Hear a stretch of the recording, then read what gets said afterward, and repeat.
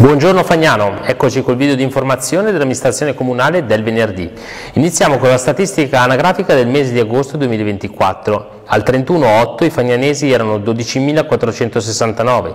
Nel mese di agosto sono nati 7 bambini e sono decedute 13 persone. Come ogni volta un benvenuto e un augurio a tutte le neofamiglie del nostro paese e a tutti i bambini appena arrivati e sentite condoglianze e abbraccio a tutte quelle famiglie che hanno perso i loro cari nel mese di agosto. Questa settimana molto probabilmente ci sarà la chiusura alcune, in alcune ore di Via Patrioti per la sistemazione di un chiusino della rete fognaria e la sistemazione di una saracinesca del, sempre del sistema idrico della, della via.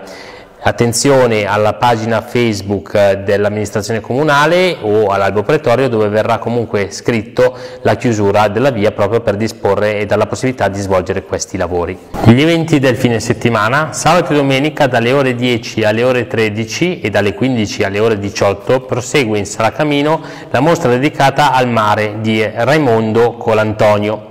Sempre sabato alle ore 17.30 al Castello, Giuseppe Agnesina ci presenta il suo nuovo romanzo dal titolo Il Pascia Risot, storie e racconti della Gallarati di un tempo.